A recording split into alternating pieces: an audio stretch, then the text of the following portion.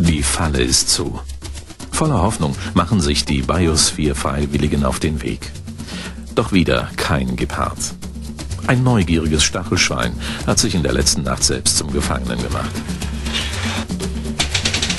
Besonders eilig scheint es das junge Tier nicht zu haben, wieder in Freiheit zu kommen. Obwohl es für das nachtaktive Stacheltier eigentlich höchste Zeit wäre, sich zur Tagesruhe in seine Höhle zurückzuziehen. Endlich hat's das Schwein, das in Wirklichkeit ein Nagetier ist, begriffen. Die Falle ist offen. Nichts wie weg hier.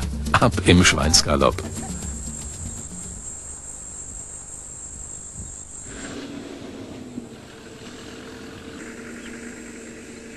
Neues Spiel, neues Glück.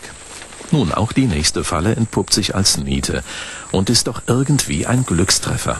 Ein höchst ungewöhnliches Tier hat sich in der Nacht in die Falle verirrt.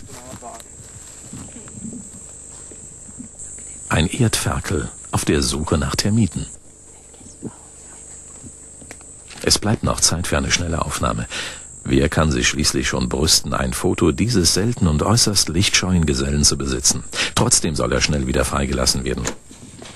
Matthias selbst nimmt sich diese Aufgabe an. Rasch, damit sich das Tier nicht doch noch eine blutige Schnüffelnase holt.